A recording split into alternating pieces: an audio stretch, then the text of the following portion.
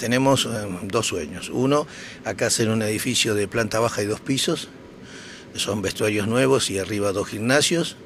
Y atrás, a mis espaldas, hacer un gimnasio de 40 por 30 metros, que sería la gran posibilidad, primero, de poder seguir participando en los nacionales de básquet, porque ahora se cambió la reglamentación y las canchas de básquet no pueden tener más 27 por 13, sino tienen que tener 30 por 15, donde no nos da el espacio donde tuvimos siempre la cancha de básquet.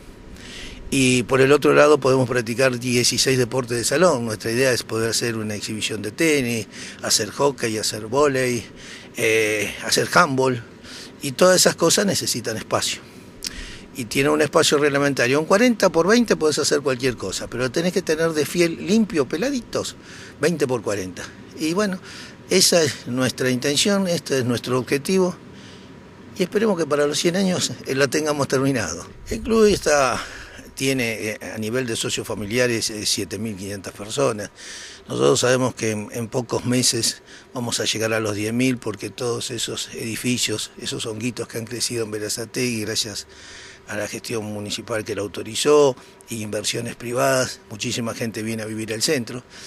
Y es como siempre, o vienen parejitas jóvenes que quieren eh, llegar de trabajar, guardar el auto e ir a hacer algo de deportes, o tienen chicos chicos y quieren mandarlos a hacer deportes, o son ancianos que vendieron por ahí por, por tranquilidad, seguridad, o porque ya necesitan menos espacio su casa y comprar un departamento, y quieren venir a hacer un poco de, de pileta recreativa.